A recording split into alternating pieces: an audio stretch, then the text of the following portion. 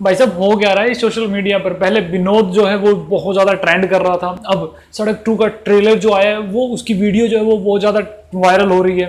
भारत की सबसे ज़्यादा मोस्ट डिसलाइक वीडियो बन गई है मूवी ट्रेलर में। अब थोड़ा सा ना यूट्यूब का एल्गोरिथम समझते हैं। क्या किसी वीडियो को सबसे ज़्यादा डिसलाइक देने से क्या वो वीडियो ट्रेंड में नहीं जाएगी? या ऐसा तो नहीं हो रहा ना? तुम देख सकते हो कि ये ट्रेंडिंग नंबर वन पे चल रही है। अभी फ़िलहाल जब मैं वीडियो बना रहा हूँ 4.2 मिलियन इसको डिसलाइक आ चुके हैं। इस पूरे सिलसिले को एक नए एंगल से देखने की कोशिश करते हैं सुशांत सिंह राजपूत की सुसाइड के बाद, जहाँ पर पूरी एक जनता, मुकेश भट्ट के खिलाफ खड़ी हो गई थी। उनको पता था कि मुकेश भट्ट जो है वो नेपोटिज्म का बाप या करण जोहर के बाद आने वाला है। दोनों ही एक लेवल के हैं।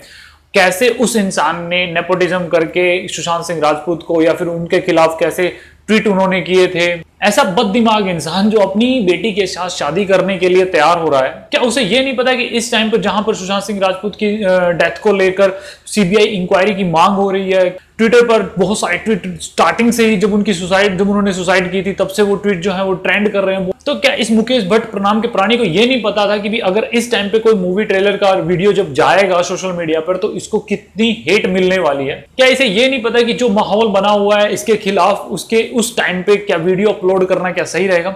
मैं इसे अच्छे से समझाने की कोशिश करता हूँ। देखो यार, एक प्रमोशन नाम की एक चीज़ होती है, चाहे वो अच्छी हो, चाहे वो बुरी हो बट प्रमोशन होना चाहिए। फॉर एग्ज़ाम्पल आपने पद्मावत मूवी का नाम सुना था। जब वो मूवी आई थी, कितनी ज़्यादा वो कंट्रोवर्सी के अंदर रही थी। स्टार्टिंग में उसका नाम पद्मावती था। राजपूत जो राजपूत समुदाय है, राजपूत कम्युनिटी है, उन्होंने बहुत ज़्यादा इसका विरोध किया था। तब पद्मावती का नाम बदल के पद्मावत किया गया था। तो एक हिंदू सेंटिमेंट के साथ खेलने की कोशिश करना, ये बॉलीवुड की हमेशा से आदत रही है। वो कोई ना कोई कंट्रोवर्सी तैयार रखती रखती है, ताकि उन्हें प्रमोशन करनी ही ना पड़े। एक फ्री में पब्लिसिटी उनकी हो जाए, तब उस मूवी को लेकर कितना हाइप क्रिएट हो गया था, पूरी पूरा का पूरा देश उस मूवी के बारे में जानने लग गया था। तब एक माइंडसेट बनने स्टार्ट हो जाता है क्या इस मूवी को एटलीस्ट ऐसा क्या इस मूवी के अंदर, इस मूवी को देखना ही चाहिए। और कहीं ना कहीं ऐसा ही हाल इस सड़क टू की ट्रेलर के साथ हो रहा है। लोग इस वीडियो को ज़्यादा से ज़्यादा डिसलाइक करने के लिए दूसरों को शेयर कर रहे हैं। ट्विटर पर जब मैंने देखा ट्विटर पर लोग ये ट्रेंड करवा रहे हैं। इस सड़क टू का ट्रेलर जब ट्रेंड कर रहा था कुछ टाइम पहले आई डोंट नो कि अभी कर रहा है, नहीं कर रहा। कुछ टाइम से मैंने देखा था जब ये ट्रेंड कर रहा था, लोग वीडियो शेयर कर रहे थे, लोग बता रहे थे कि इसकी वीडियो आ चुकी है डिसलाइक करो। हर जगह पर व्हाट्सअप के ऊपर इसकी वीडियो शेयर करके इस पर डिसलाइक करने की मांग की जा रही थी।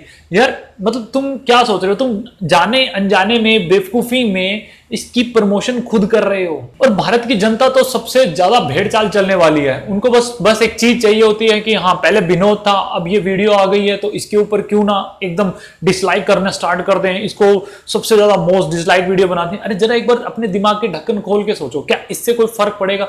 उस इंसान को अच्छे से पता है कि इस वक्त जो माहौल बना हुआ है, उसके खिलाफ है। फिर भी वो वीडियो लेके आते हैं, क्योंकि उसे पता है प्रमोशन मिलेगी भाई साहब, उसकी वीडियो लोग जानबूझकर देखेंगे। लोग वीडियो डिसलाइक करने के लिए आएँगे एटलीस्ट डिसलाइक करने के लिए आएँगे, लोग उसकी वीडियो पर आएँगे एटलीस्ट ये बहुत बड़ी बात होती है और तुम लोग उसमें बहुत बड़ा योगदान दे रहे हो यार अपनी बेवकूफ़ी से। फ़र्क तो तब पड़ता है अगर तुम लोग इसकी वीडियो देखो ही ना। मतलब ये मूवी जो ट्रेलर आया, इसको तुम बिल्कुल देखो ही ना। चार पाँच हज़ार व्यू रह जाए, इसको इसको ज़्यादा प्रमोट मिले ही ना, ये लोगों तक पहुँच ही ना पाए। या तुम इसके खिलाफ कोई रिपोर्ट कर सकते हो आई थिंक कर सकते हो तो कर देना। और रियलिटी में, असली में फ़र्क डालना चाहते हो तो उन लोगों को सपोर्ट करो, उन लोगों को आगे लेके आओ जिनके पास एक्चुअल में टैलेंट है, जो बहुत ज़्यादा स्ट्रगल कर रहे हैं। अगर तुम उनके साथ खड़े हो ना, कसम से उन्हें कोई भी नहीं हिला सकता। क्योंकि जनता सबसे बड़ी होती है यार, जनता की पावर जिसके साथ होती है, सामने वाला भला ही कितना बड़ा हो, उसका कुछ भी नहीं उखाड़ सकता वो। चाहे वो बॉलीवुड हो या फिर चाहे वो यूट्यूब हो, अगर तुम उनके साथ दिल से खड़े हो, तब बात बनेगी यार। अब बहुत सारे लोग ये सोचते रहते हैं कि यार अच्छा काम कर रहा है, ठीक है यार बट बहुत सारे और लोग आ जाएँगे इसको सपोर्ट कर रहे हैं मैं नहीं करता, छोड़ना इस चीज़ को। अगर जब ये अपनी सोच बदलोगे ना यार तब चीज़ें बदलेंगी, वरना तुम ऐसे ही आलसी के आलसी पड़े रहोगे जब एक माहौल क्रिएट होगा। तब तुम, जैसे होता है ना शुतुमुख जो है अपना धरती में सर गड़ा के रखता है और जब कुछ ऐसा माहौल क्रिएट होता है तो वो बाहर सर निकालता है। तुम वही हो यार, या कहें कि बारिश के मेंढक हो, जब, तब बारिश होती है तभी तुम बाहर निकलते हो। यानी ऐसा कोई माहौल क्रिएट होता है, तब तुम बाहर निकलते हो। ऐसे नहीं चलेगा यार। अपने दिमाग के ढक्कन खोलो उसका सही यूज़ करो लोगों को सपोर्ट करो तुम्हें जिनको एक्चुअल में ज़रूरत है तुम लोगों की तुम उनके साथ खड़े हो।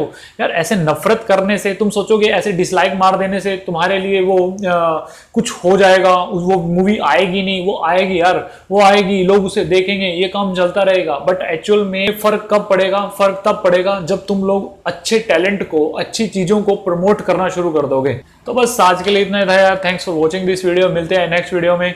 जय हिंद।